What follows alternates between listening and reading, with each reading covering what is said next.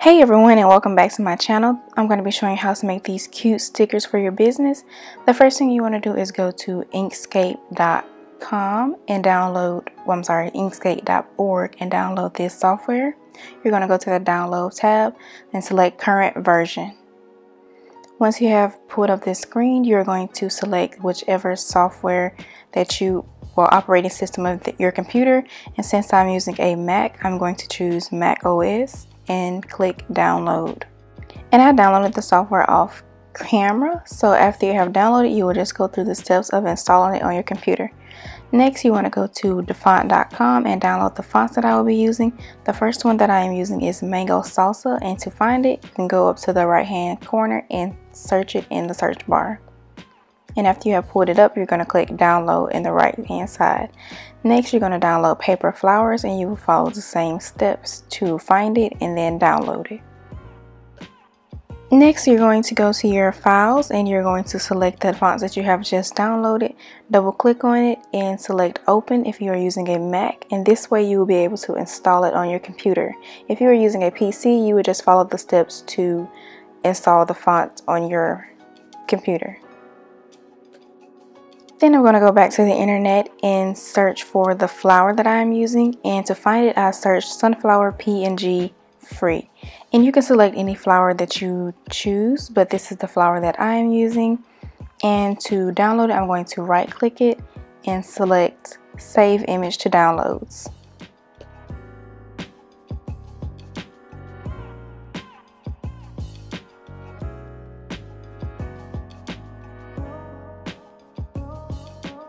Now you're going to want to open your Inkscape software and if you're opening it for the first time then you don't have to worry about anything being on the screen. But if not you're going to go to file and select new. Now that you have your blank canvas the first thing you want to go to do is go to file and select document properties. And once the screen has brought up you're going to change the document size to US letter. And after you have done that you're going to go to the top left corner where it says display units and change the millimeters to inches.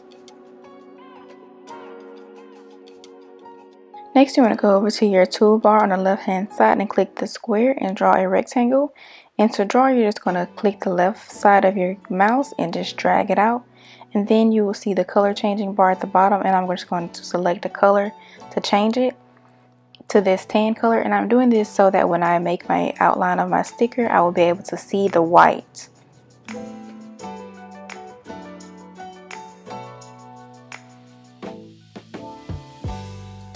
Next I'm going to begin typing out my words and to get a text box you want to go to the left hand toolbar and click the bolded A and it will bring up your toolbar. So the first thing that I'm typing out is thank you for helping my business and as you know, the saying says, thank you for helping my business grow, but we need to have two separate text boxes. So we're going to type the first part first, and then we're going to click it and make a new text box to type out grow. This is very important to not type them all together.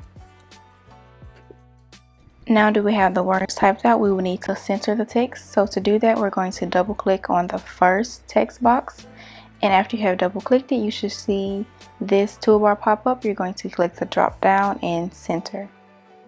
And to center the grow with the entire text we're going to select both items. And once both text boxes are selected we're going to go up at the top right corner and align them as well. And to do this you're going to click align and this toolbar will pop up and you're going to go align center and vertical Now we will need to change the fonts to the fonts that we downloaded earlier. So you're going to make sure your first text box is clicked and you're going to go to where you can change the font and type in paper flowers. That is the first font that we're using and then we're going to go to the next text box and use the mango salsa. And you can just click in the box and search for the font. Then I'm going to resize the font and make it a little bit bigger. And I'm also going to reduce the line spacing so that the two are closer together.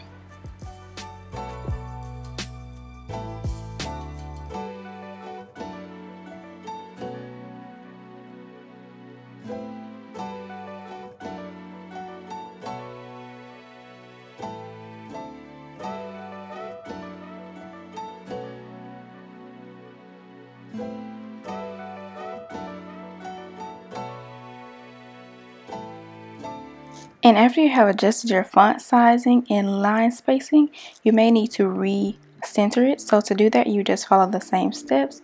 You're going to make sure you have both boxes selected and then you're going to go up to the toolbar and select align and remember we chose align vertically. The next thing you want to do is select the first text box and go to where it says path and select object to path. Once you have done that, you're going to right click and click ungroup. After you have done that, you're going to go back to path and select union. Now you're going to do grow. So you're going to click it, go to path, select object to path, and then you're going to right click it and ungroup. And then you want to click away to make sure that all of the letters are not selected. Select the O and delete. We're, now we're going to be inserting our sunflower and to do this you're going to go to file and select import.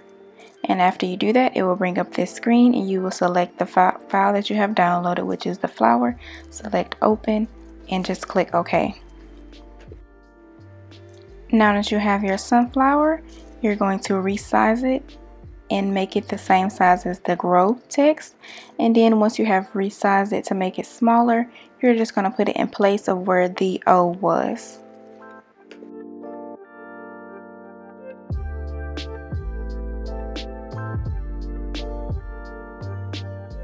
Now you will need to select the G, R, the W, and the exclamation point. and to select multiple items you would just hold the shift bar and click the item that you want to select and after you have done that you're going to go to path and union now you will want to join all of the black text so you're going to hold shift and select this text box the second the first text box.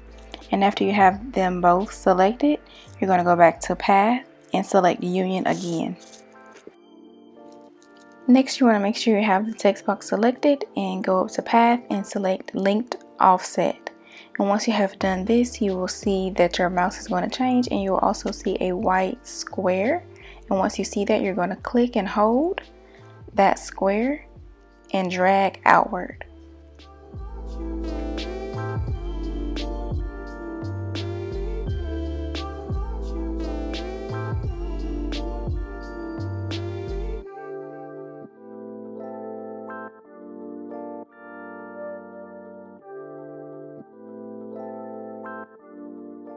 And as you can see, it makes your outline text black because your font is black. But we're going to change it, change this by going to the toolbar and selecting the first mouse. And once you have done this, you're going to go down to the bottom and change the color.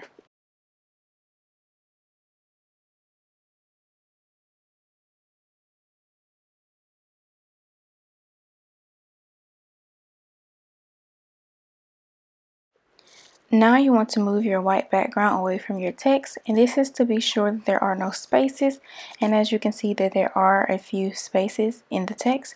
So to fix that we're going to make sure that the background is selected and then we're going to go up to where it says path and after you have clicked on path you will click object to path and once you have changed it from object to path, you're going to make sure it's still selected and go to your toolbar on the left hand side and select the edit nodes clicker. And once you have done that, you're going to select the spaces that you want to correct and delete. Now you want to go back to the toolbar and click the mouse tool to be sure that you have the right selector. Now you want to join your words with your sunflower. And to do this you're going to make sure that all of it is selected. You're going to go up to your toolbar select object and group. And once you have grouped it you're just going to move it back to be centered with the white background. And to do this you're going to drag it in the text. And then you're going to select both objects. And we're going to go back to that align tool which is in the right hand side. And you're going to center it, center it vertically and horizontally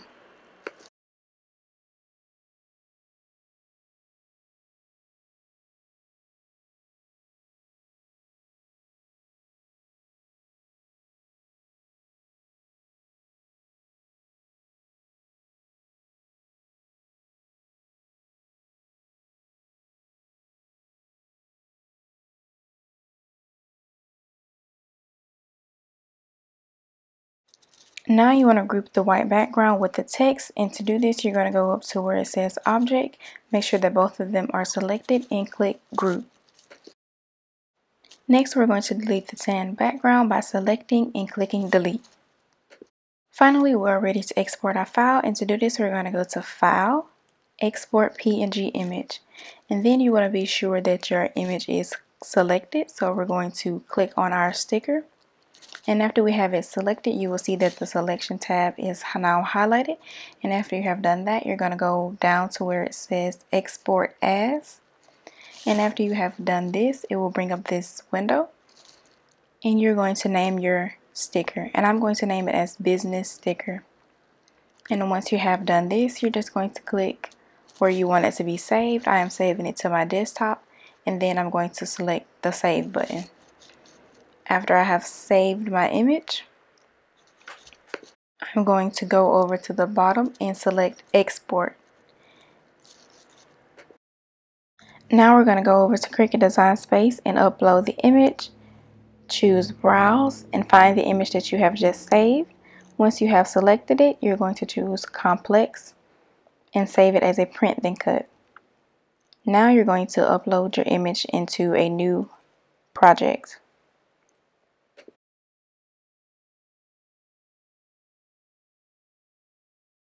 Now that you have your sticker uploaded, you're going to go over to shapes and choose the square. I am changing mine to a blue color. You can change it to whatever color you like and be sure to click the unlock button. And now we're going to resize this square to 6.75 by 9.25.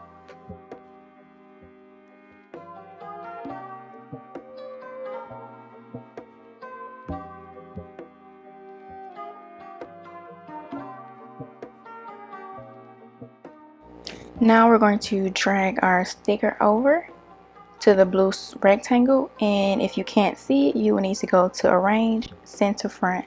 And after you have done this we're just going to position it on the paper and then we're going to duplicate it across the blue rectangle. This blue rectangle serves as a printing guide. As you know in Cricut Design Space you can only print and cut by 6.25 by 9 6.75 by 9.25 so this is why we created the blue rectangle and we're just going to duplicate the sticker all across until we have filled it up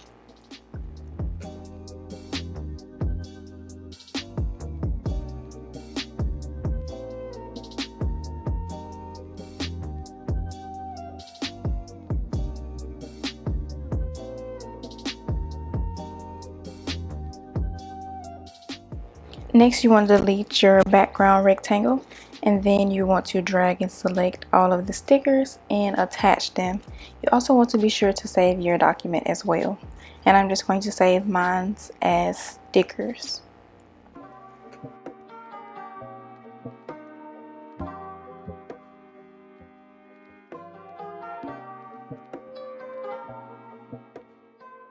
Next you want to go up to the top and click make it and after you have brought up to this screen you're just going to click continue and send to printer.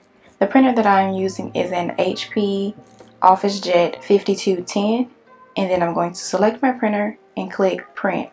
And after you have selected print you want to be sure to turn off bleed and then I'm going to turn on use system dialog. This is so that you can have more settings and adjust the print quality on your document. So after this pulls up, you're going to select color and be sure to turn the quality to best.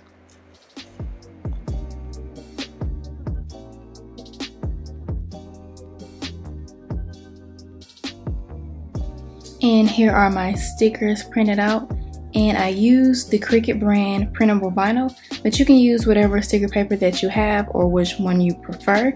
If you prefer a brand that is more glossy versus matte because these stickers have a matte finish but it's all up to you whatever your preference is so now I'm going to load in my Cricut and I'm going to be using the green mat.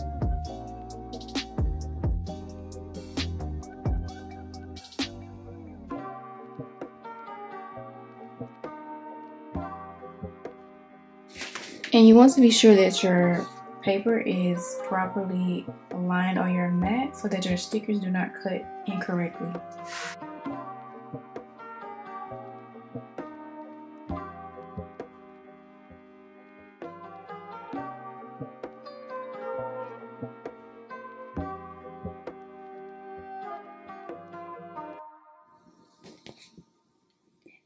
These are our stickers. I think they turned out really cute.